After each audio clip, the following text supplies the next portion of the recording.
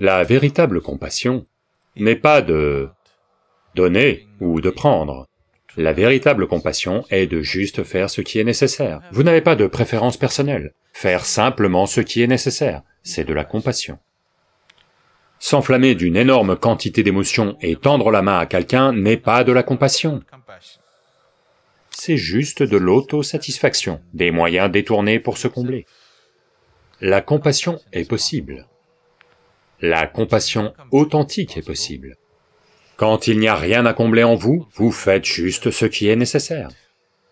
Mais toujours, si vous plongez dans une émotion profonde et que vous faites quelque chose, vous pensez que c'était un moment de grande compassion? Non, vous recherchez l'accomplissement personnel. Je ne dis rien de bien ou de mal, ça vient encore d'une certaine insuffisance. Donc un sage trop compatissant se débarrassait sans discernement des besoins des gens. Grâce à ses austérités, il a atteint une certaine capacité et il l'a distribuée. Donc un jour Shiva l'appelle et essaye de le conseiller. Tu vois, ce n'est pas bien. La façon dont tu distribues des cadeaux et des bénédictions aux autres gens ne va pas apporter de bien-être ni à toi, ni aux personnes à qui tu les donnes. Ça peut apporter beaucoup de problèmes, ça peut lui apporter beaucoup de problèmes, ou à tous les deux beaucoup de problèmes. Donc, arrête de donner ces bénédictions. Les gens viennent et demandent, c'est ok, tu n'as pas besoin de donner. Parvati, la femme de Shiva, qui était assise là, dit, Oh mon Seigneur, comment est-ce possible? Vu qu'il y a très peu de donneurs dans le monde, vu qu'il y a très peu de gens qui sont prêts à donner quoi que ce soit dans le monde, et les quelques hommes qui donnent, tu essayes de les restreindre aussi? À quoi bon? Au moins, les quelques hommes qui sont prêts à donner, laisse-les donner. Tu dois m'expliquer ça.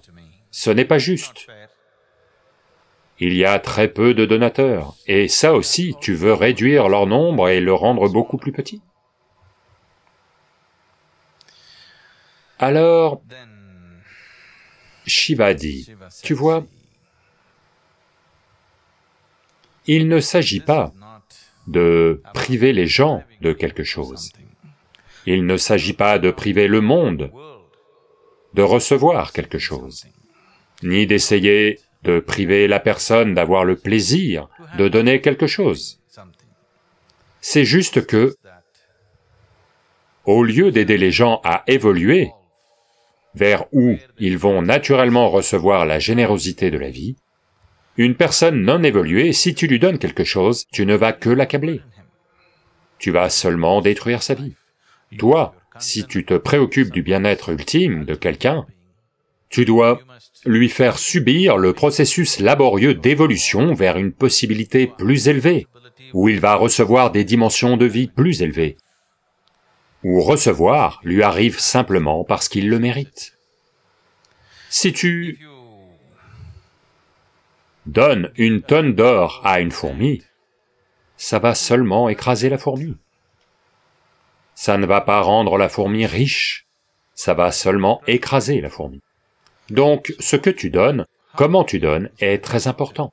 Tu ne donnes pas juste parce que quelqu'un te le demande.